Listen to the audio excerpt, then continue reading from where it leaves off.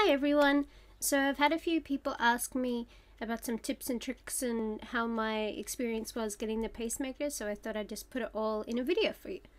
So I got my pacemaker on the 17th of March and it is the 7th of June now, so two, three quarters, nearly three months. Um, it's still quite bruised. It was very, very bruised at the start and it's just a clean cut line and now it's actually turned to a scar, so I can show you. It's a bit bright in here, but um, still quite bruised. And the pacemaker itself is about here, this hard sort of plate in here. It's about this big. Um, yeah. So uh, I thought they'd be giving me a lot of painkillers, but uh, they only gave me one endone. Um, they didn't even give me a script of Panadol or anything when I left, but it's just an overnight stay. Um, the pain itself was fine for me, but I've had a couple of surgeries and stuff. Um, but I'm sure if you ask for more pain meds, they'll give it to you. They gave me a lot of ice packs though, which was wonderful. So I really suggest if you're gonna go get a pacemaker to to buy some ice packs before and just put it on top, and it just oh it takes away all the pain. It's so good. um, so yeah, it was just a, a, overnight stay, and they they let me go the next day. Um, they just gave me a lot of saline and antibiotics um, in the surgery in case anything happened, but it was fine. And uh, because I was getting it done because of dysautonomia, they monitored my blood pressure and they were really, really good. And it was just, they were just wonderful. so, um, when I left, they gave me this little booklet, and you'll get one as well uh, if you're getting surgery. They also give you a card saying the type of pacemaker you have and things like that, and you have to actually carry it around all the time with you. Um, but yeah, so it just has a whole bunch of you know, answers to any questions you have and stuff like that. It has things that have like no known risk, things that are a little bit, and things that you have to really sort of avoid. So it says things like, you can still have a flashlight, yeah, but be careful around drills and definitely stay away from car battery chargers. Things like that. So um, that was really handy. uh, you can basically still do everything you did before. You just got to be careful. So, like uh, mobile phones, you got to keep 15 centimeters away from the site. Uh, same with tattoo machines. Anywhere is fine, but not near the scar as well because you know infections and things. But the magnets inside can really screw it up. But uh, you cannot weld or do chainsaws anymore, which is a bit sad.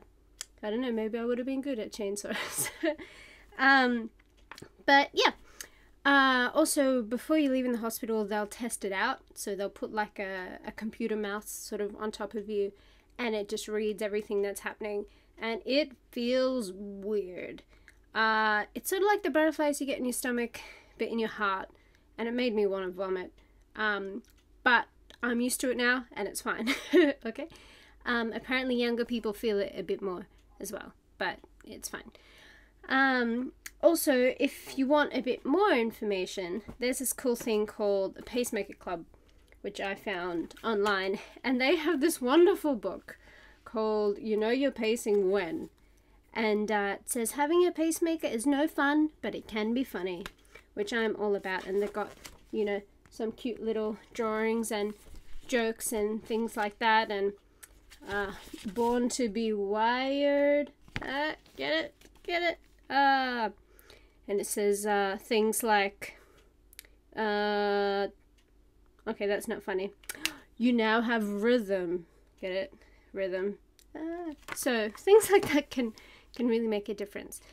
Um, so just a little with my experience now. Um, so yeah, the pain was fine.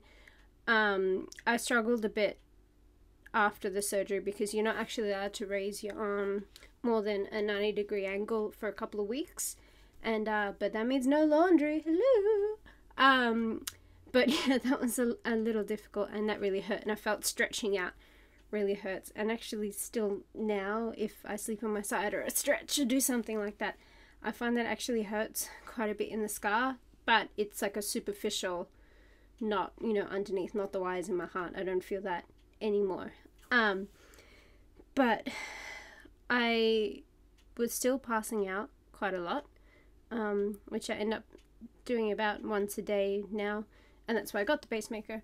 So um, this was mainly for bradycardia, but uh, last week I had an appointment with my cardiologist and with the pacemaker technician people, um, and they checked it out, and I had actually had no bradycardia episodes in those two months, but I had had 372 tachycardia episodes.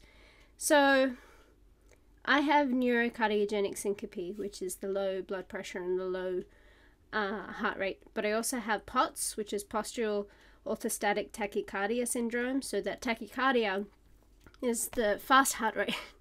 So um, turns out, uh, right now my body's going through a phase of a whole lot of tachycardia rather than the bradycardia. So my pacemaker won't actually help me.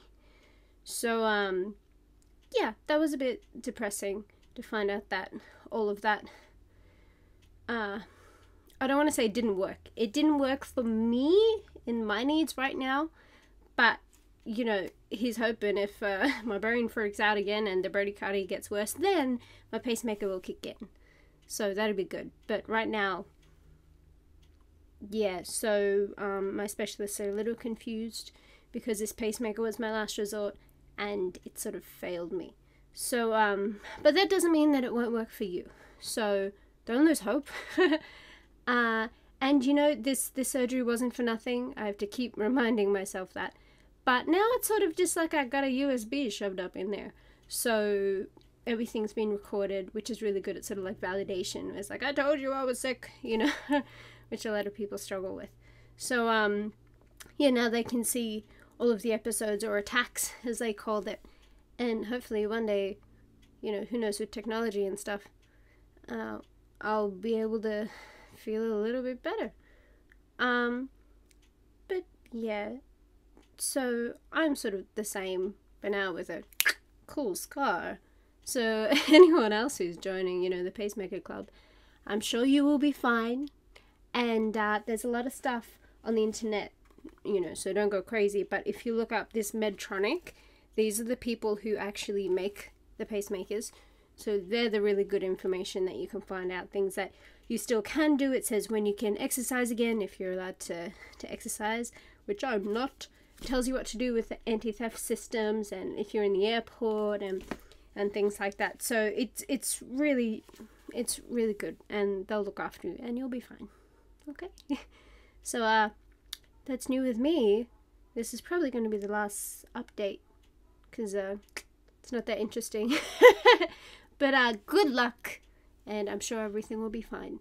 And thank you for all the, the questions and the well wishes and everything. That's been really, really nice. So thank you.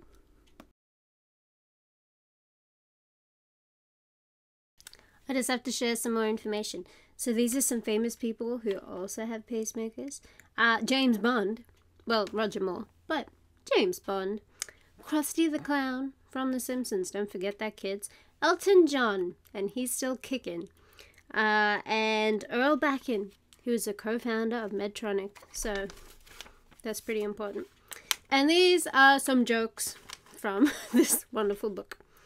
You replace words with yours truly with happy pacing when signing letters. Your life has spark.